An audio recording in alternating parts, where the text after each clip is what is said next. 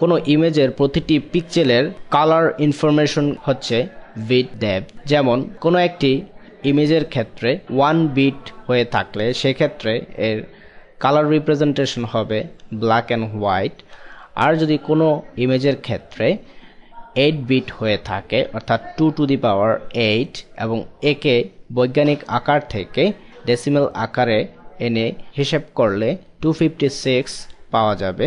এবং সেই ক্ষেত্রে এর কালার সংখ্যা হবে two fifty six per pixel RGB মোডের ক্ষেত্রে তিনটি চ্যানেল থাকে এবং প্রত্যেকটি চ্যানেলে এইট বিট পার চ্যানেল অর্থাৎ এইট বিপিসি যা টু ফিফটি সিক্স করে সিক্সটিন মিলিয়ন কালার রিপ্রেজেন্ট করে থাকে। মাঝে মধ্যে একে আমরা twenty four bit colour image বলে থাকি। কারণ হচ্ছে প্রতিটি চ্যানেলের eight bit into three equal twenty four bit তাছাড়া আমরা সিক্সটিন বিট এবং থার্টি টু বিট কালার নিয়েও কাজ করতে পারি ফটোশপের ভিতরে। থার্টি টু বিটের যেই সমস্ত ইমেজগুলো রয়েছে, সে সমস্ত ইমেজগুলোকে এইচডিআর ইমেজ বলা হয়ে থাকে হাই ডাইনামিক রেঞ্জ ইমেজ যেগুলো নিয়ে আমরা পরবর্তীতে বিস্তারিত আলোচনা করেছি। ফটোশপে সিক্সটিন বিট ইমেজ ব্যবহার করলে সেই ক্ষেত্রে কি কি ব্যবহার করা যাবে আর কি কি ব্যবহার করা যাবে না? Working in greyscale RGB colour CMYK lab colour and multi channel modes all tools in the toolbox, except the art history brush tool, can be used with 16 bpc images.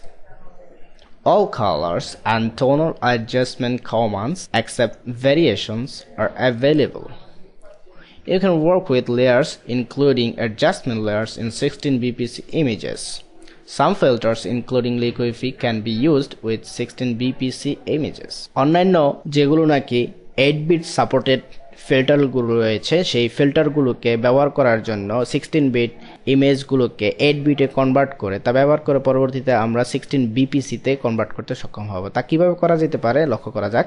এখানে যে ফাইলটি লক্ষ্য করা যাচ্ছে, সেই ফাইলটি এইট বিট কালার রিপ্রেজেন্ট করে ব্যবহার হচ্ছে আট জিবি মোড এবং চ্যানেল হচ্ছে তিনটি, একে ইমেজ মোড এবং সিক্সটিন আপনার প্রয়োজন অনুসারে যে কোনো কালার বিটে কনভার্ট করে নিতে পারেন।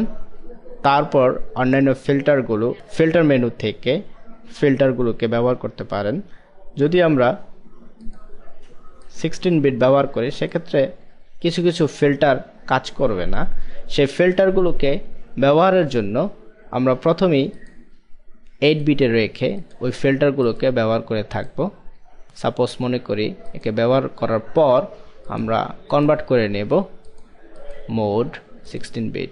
ওকে, এভাবে আমরা বিভিন্ন ধরনের অবজেক্টগুলোকে কালার বিটে বিভিন্ন কালার বিটে রিপ্রেজেন্ট করতে পারি।